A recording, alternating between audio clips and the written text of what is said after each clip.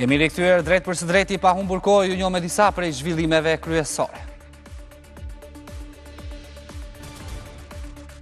Pas vrasjes së nxënësit te shkolla Fan Noli, qeveria do të kufizojë përdorimin e rrjeteve sociale nga të miturit. Kryeministri Edi Rama tha se po diskutohet mbyllja e TikTokut për të miturit. Diskutimi do të bëhet me prindërit. Ai kërkoi nga prindërit të marrin përgjegjësi brenda mureve të shtëpisë dhe shteti do të garantojë sigurinë jashtë saj.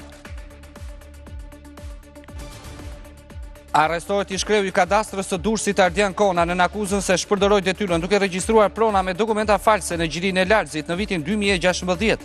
Në kërkim është juristi i hipotekës dhe një specialist. Kona dhe dy zyrtarët në bashkëpunim Po hetohen për një sërë pronash të tjetërsuara gjatë viteve 2016-2017.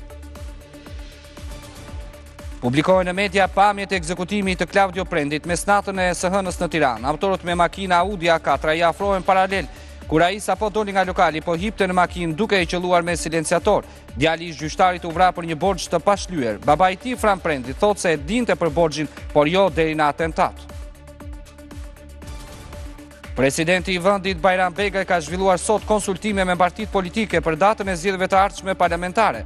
Drejtuesit e partive të vogla i kanë sugjeruar kreut të shtetit datën 4 maj për zgjedhjet e ardhshme. Ndërkohë, presidenti pritet të takojë më 25 nëntor përfaqësues të Partisë Socialiste dhe asaj Demokratike.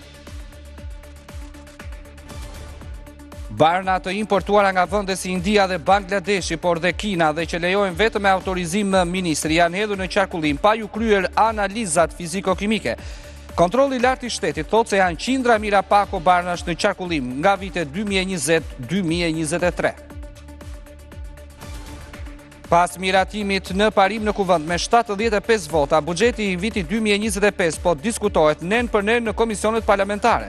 Buxheti ndahet në nëntë grupe kryesore ku pas skemave sociale pjesën më të madhe marrin investimet dhe pagat e administratës. Pas Shteteve të Bashkuara të Amerikës edhe Italia, Greqia dhe Spanja kanë mbyllur selitë diplomatike në Kiev pas sinjaleve për një sulm të madh ajror. Punonjësve u kërkohet të strehohen në vende të sigurta.